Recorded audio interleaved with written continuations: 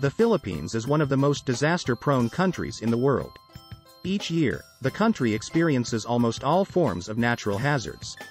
Floods, earthquakes, volcanic eruptions. We have experienced these and more. Sometimes, even coupled with complex emergencies due to armed conflict or public health challenges. While there is a growing body of knowledge and expertise related to risks and hazards, much of the technical information does not reach those who need it most. Efforts to mainstream disaster risk management should not stop even in the middle of a pandemic. Instead, this should fuel more efforts to protect and equip the vulnerable. Information saves lives, and it should be available and accessible to all. Disaster Busters will empower young leaders in the Philippines who are passionate about disaster risk management and resilience.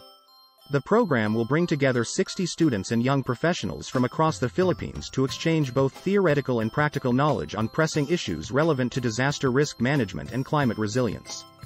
Disaster Busters will offer webinars, virtual workshops, mentorship opportunities, and other activities that can help build the capacity of young advocates of disaster risk management and climate resilience.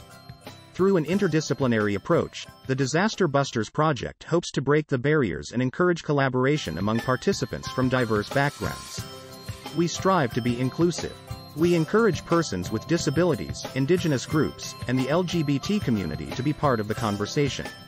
Towards the end of the project, we'll produce a toolkit to promote increased understanding of natural hazards and disaster risks and help ignite action on the ground.